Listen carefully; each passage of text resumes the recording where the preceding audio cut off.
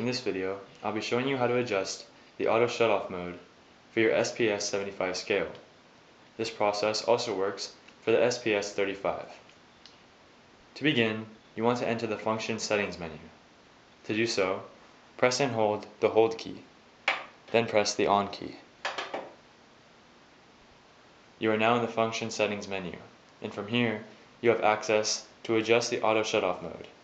To do so, use the zero key to turn on or off the auto shutoff.